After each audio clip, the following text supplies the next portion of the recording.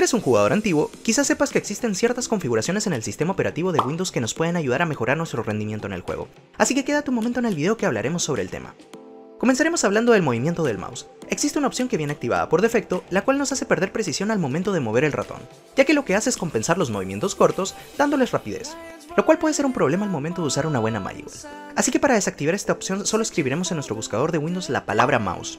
Luego entraremos a la configuración y nos dirigiremos al apartado que te muestra en pantalla. Entraremos a las opciones del puntero y desactivaremos la casilla Mejorar la precisión del puntero. De esta manera los movimientos de nuestro mouse serán un poco más precisos. La siguiente configuración que me gustaría mostrarte tiene que ver con el uso del teclado, ya que podemos modificar el tiempo de repeticiones de las teclas en la configuración de Windows. Solo escribiremos en nuestro buscador la palabra teclado, luego modificaremos el retraso de la repetición y lo pondremos tal y como te muestro en pantalla. De esta manera en conjunto con la configuración de nuestro cliente de Tibia, podremos caminar un poco más fluido con las flechas del teclado.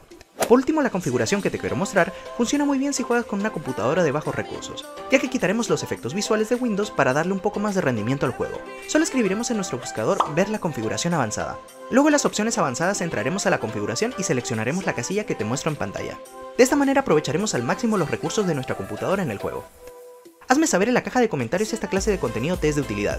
De ser así, no olvides echarle un vistazo al resto del contenido que tengo para ti en mi canal.